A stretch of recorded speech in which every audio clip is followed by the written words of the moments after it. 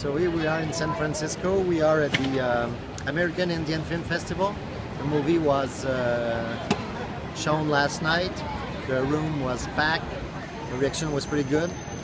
And it's always, you know, the same reaction everywhere. People talk about, first of all, they talk about the beauty of the images. They talk about uh, how the music is great. And then they, start talking about how they feel about it.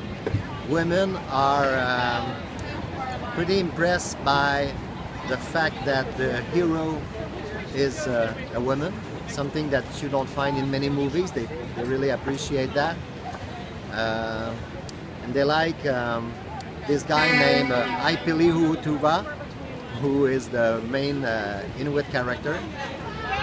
Really, the um, that was pretty good, and uh, the question and answer at the end of it took at least a whole uh, a whole hour, and that was absolutely great.